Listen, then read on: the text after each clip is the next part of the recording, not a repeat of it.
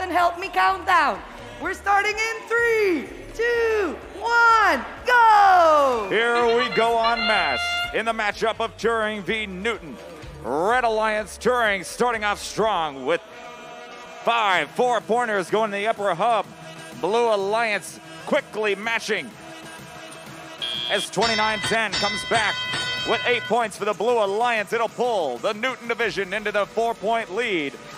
Quickly answered by the team from Israel, 1577 Steampunk. Already colliding with Team Driven, 1730. But High Tide has got their back as 44 14 holds back the blue defender, allowing the Red Alliance to take the lead, 54 to 44. On the blue side of the field, Steampunk shoots wide for the Red Alliance, allowing 1730 to gain four points for the Blue Alliance. Seven point differential. As 29 10, Jack the Bot is locked in the corner of the red hanger, sliding away from the red defender, the Falcons from Maryland. Can they get loose? Red Alliance maintaining their lead with this excellent defense. 61 to 56, 80 seconds remaining. And coming out of the blue hanger, 973 is on the chase for Cargo. As they push back against the Israeli team, 1577. Blue Alliance tries to close the gap.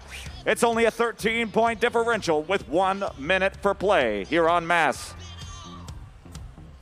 Two, Red Cargo go up to maintain that Turing Alliance lead. Could come down to the final seconds of the match to determine who will win this matchup. Blue Alliance definitely pushing back as 44-13 gets sandwiched and sneaks back across the center line to avoid 973 the Greybots.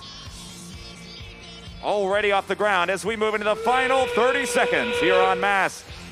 Team driven, pulling up onto the high rung for 10 points. Red Alliance up 109 to 78. Can they make it up in hanger points?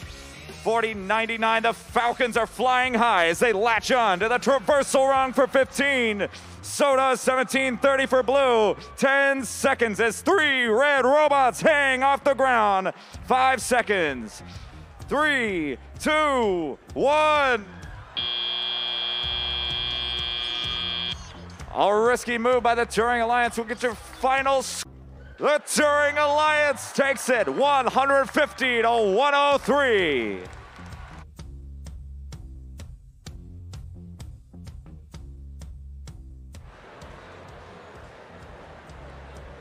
All right, a couple exciting matches